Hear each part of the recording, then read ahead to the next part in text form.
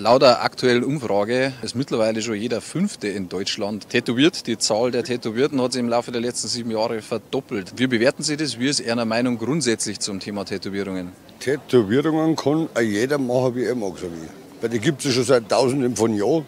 Das ist ja keine, keine Erfindung der Neuzeit. Die gibt es ja bei den Urvölkern schon immer. Nicht? Weil es schwappt halt bei uns so über, weil meine Tochter ist tätowiert, meine Ex-Frau ist tätowiert. Also von meinen Späteln sind fast alle tätowiert, außer ich. Okay. Ich finde Tattoos schön. Ich würde auch gern welche haben wollen eigentlich. Ich finde, es kommt immer darauf an, auf die Stellen, wo man es hat. Also ich finde kleinere eher schöner.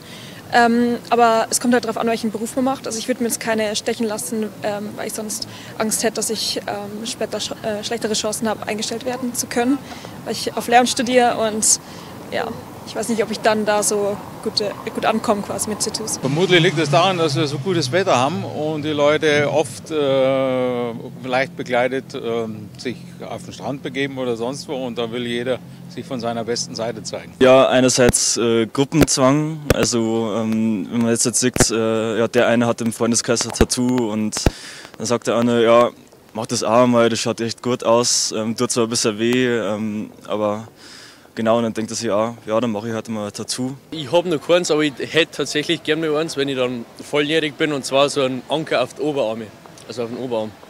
Das finde ich ganz cool, so ein, so ein Strich, manchmal Anker, also Strichzeit. Ja. Okay, also eher so Richtung Oldschool, so, so, ja. so ein Anker. Warum, warum, warum genau dieses Motiv? Das gefällt mir einfach. Das finde ich irgendwie cool.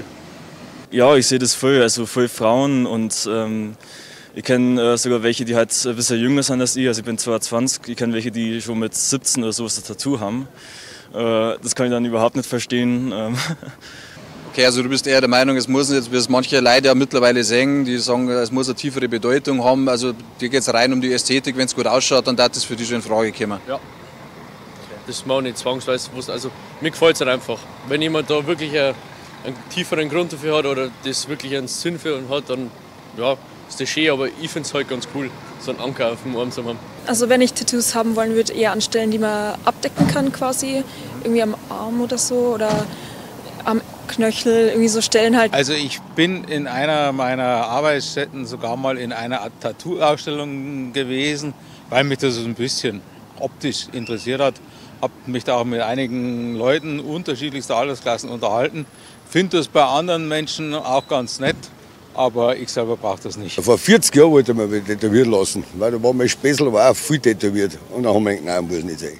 Und warum dagegen entschieden? Oh, keine Ahnung, das ist schon so lange her. Das weiß ich jetzt nicht mehr, was der Grund war. Vielleicht habe ich auch keinen Prüfer gehabt, das kann auch sein. Wegen Geld eigentlich, weil es sehr viel kostet. Genau, aber sonst würde ich es mir schon wahrscheinlich überlegen. Also ich bin Zootierpfleger und äh, kann mir ganz gut vorstellen, irgendwo ein Nashorn zum Beispiel zu haben oder ähm, ein Kollege von mir, der hat ähm, hinten auf dem Rücken einen Löwen äh, tätowiert.